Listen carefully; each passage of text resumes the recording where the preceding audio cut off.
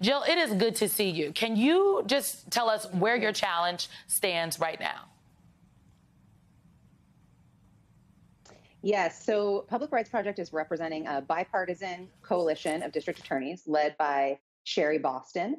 And we just filed a preliminary injunction motion a couple of weeks ago, basically asking the court to stop the commission from initiating any investigations or disciplinary proceedings. We're waiting on the court to set a hearing on that motion, and we hope to have that motion resolved by October 1st, which is when the commission is currently slated to start receiving complaints and initiating investigations.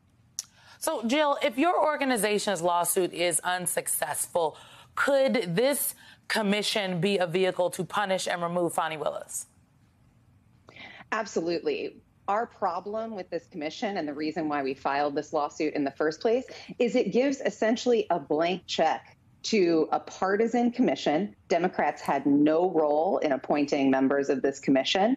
And the commission has broad powers to investigate, discipline, and even remove prosecutors for a full decade, despite those prosecutors being duly elected by their own voters. And it has really broad criteria to initiate that kind of stark discipline. For example, it can discipline prosecutors for conduct that, quote, brings the office into disrepute in the eyes of the partisan officials who created this commission. And so we have a lot of concerns with this commission. In addition to separation of powers, it also is a tool to retaliate against prosecutors for free mm. speech. Mm. Um, it can punish prosecutors for being honest with their own voters about their priorities for how to use their limited resources in the, the criminal justice system. And it really has, a, you know, almost a blank check to remove prosecutors just for doing their jobs. So, Jill, on one hand, then, you know, Governor Kemp, he signed this bill, but now he is speaking out against it. Do you think that the governor is doing enough to protect DA Fani Willis uh, in this case? So let's be clear. You know, you mentioned the political climate for Republicans and Trumpists across the country. Any Georgia Republicans standing up for the rule of law in this moment, like Governor Kemp is, those comments are welcome. The problem is they're too little and too late. He's already opened Pandora's box by creating this commission in the first place, and he only controls 25% of the appointments to the commission. So his statements don't really change the fact that he already created a tool for partisan retaliation against prosecutors in his state.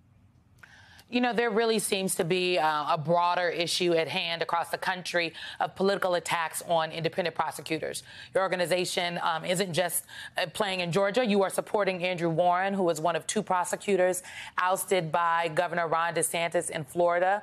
I would know Governor Ron DeSantis is also running for president. Uh, on social media, you've got uh, Donald Trump, who has repeatedly posted just very derogatory comments about every single lawyer or prosecutor that's investigating him. Is this happening more often in our current political landscape, or has this always been happening quietly for a long time and we just weren't paying attention? This is absolutely a new trend. Georgia is ground zero, but it's not alone. Uh, Public Rights Project has actually been tracking this trend for over a year.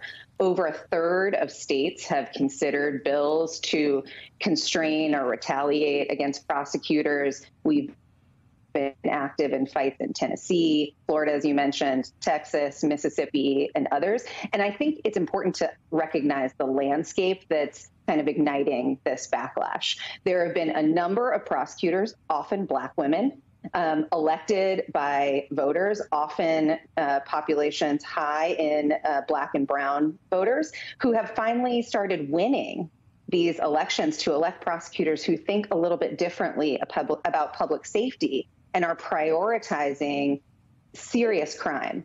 And so this is a trend that has racial and partisan overtones across the country. Hmm.